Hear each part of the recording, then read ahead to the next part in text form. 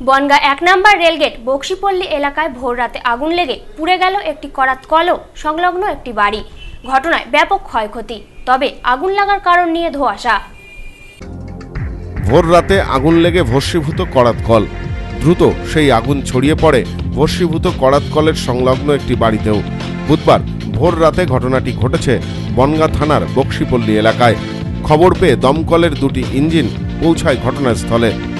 কাঠমিলের মালিক অশোক অধিকারী জানান, ঘটনায় কারখানার টিনের শেড সহ অন্যান্য সামগ্রী পুড়ে গেছে। আমি দেখছি পটপট করে একটা শব্দ হচ্ছে। এবার প্রথমে ভেবেছি সামনে তো কালী পুজো, হয়তো কেউ বাজি টাজি, এত ভোরবেলা উঠে হয়তো কেউ ইয়ে করছে। প্রথমে বুঝতে পারিনি। তারপরে যখন আমার দোতলার জানলাটা খুলেছি, তখন দেখছি পুরো আগুন ওপরের দিকে উঠে গেছে। ওপরের দিকে দিয়ে দাউ দাউ করে জ্বলছে। তখন আমি মানে পাড়ায় তখন চিৎকার করছি। পাশের বাড়ির ভাইটাকে বলছি ওট ওট তাড়াতাড়ি ওট আগুন জ্বলছে, শ্বশুরকে ডাকছে। হয়তো কাঠগোলার মধ্যে কেউ হয়তো কিছু একটা ফেলেছে, কোনো একটা কিছু।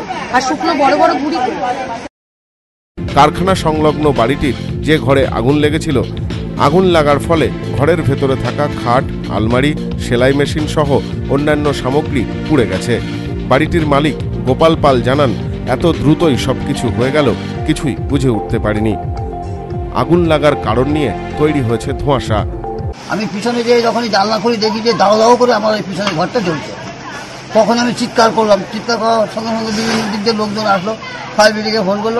আমি আশঙ্কাভাবে আমার জিনিসপত্র কোথায় কি ছেড়ে দিয়েছি, কোথায় কি রেখেছি, আমি কিছুই বোধ করতে পারছি না। ঘর তো সেলাই মেশিন আছে। তারপরে আমার এপাশে টাকা পয়সা বা জিনিসপত্র আমি তো সব বাইরে ছেড়ে দিয়েছি।